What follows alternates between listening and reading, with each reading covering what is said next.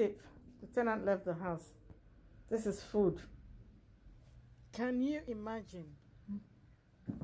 When we gave this flat to him, it was very clean. It was a studio flat. Look at the tip, everywhere filth. Tenant did not clean out the flat upon giving it back to us. He just left. Do keep watching. In the next video, you'll see how this flat looked like before.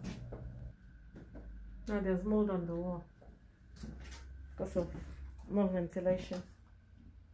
It is sad that tenants can actually turn a nice clean flat into a tip like this. He has to be held accountable, definitely. This is an awful mess indeed. Flat before tenants move in. Like and share. Do hit the subscribe button. We'll send you new tenant story videos as they happen. Thank you.